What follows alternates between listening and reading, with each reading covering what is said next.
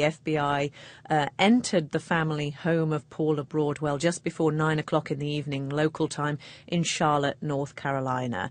Uh, they would not say why they were there, but FBI agents were seen with large cardboard boxes outside of the home. It is yet another extraordinary twist in the tale here, um, one which has absolutely engrossed Washington and all the news networks, new details emerging all the time. The FBI were at the home of Paula Broadwell. She is alleged to have sent emails harassing a second woman, Jill Kelley, who's described herself as a family friend of the Petraeuses.